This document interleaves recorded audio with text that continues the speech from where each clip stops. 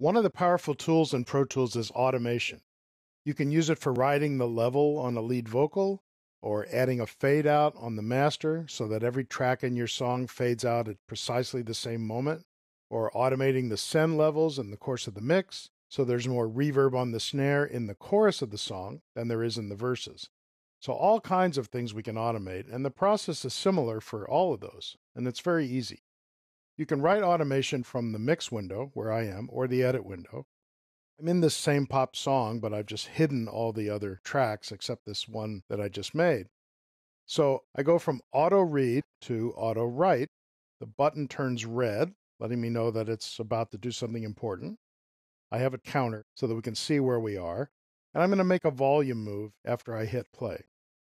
Hitting the spacebar to start the transport, and then making a volume move, and I'm done. So the button now switches to latch. If yours isn't switching to latch, then go to Setup, Preferences, and Mixing. And in the lower right hand corner, after a write pass of automation, switch to latch. Or you can have it do touch or no change. So let's review those. If you're the kind of person that wants the fader to stay where you left it when you finished your automation pass, then choose latch. If you're the kind of person that wants the fader to stay where it had been before you made the change, then choose touch. So when you're done with your automation pass, let me cancel out of here, then choose automation read. And let's jump to the edit window so that we can see this automation. I'm going to open another lane on this track and show volume, and there's the volume move.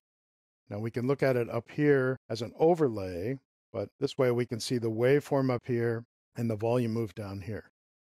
Let me zoom in just a little bit.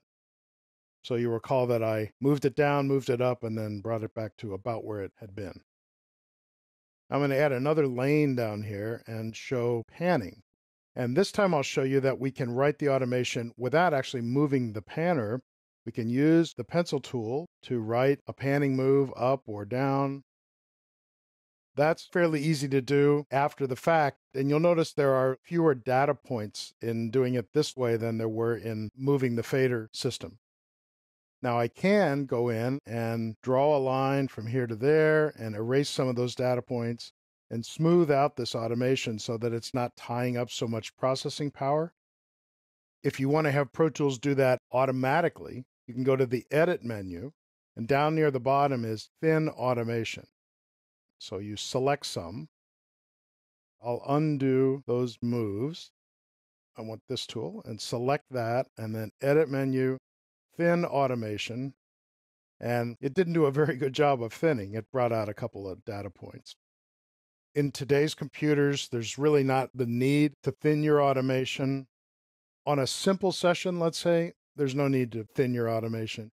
If you have volume moves like this on every track for an entire song and you have 65 tracks in your session, then maybe it's worth considering thinning your automation. So if we want to change that automation over here, we can switch to write. And let me just show you that we can do the same sort of thing in this menu. I'll just make a pan move since that's the one that's up. Pan a little bit. Now I'm writing. Now you see that the red line overwrote the volume as well. So if you only want to automate particular items, we can enable and disable those. And I'll show you how to do that in the next movie. I'm going to jump to the mix window. If we have the fader for a send, we have that same ability to automate that sender. We can go to write, back to the beginning. Let's have this be at zero. We'll write an automation move in there, switches to latch. And now if I play it from the beginning, even though I am not in read, it's still in latch mode, ready for new automation. If I go to read, there's my move. So automating the send levels is just as easy as automating volume panning and other parameters.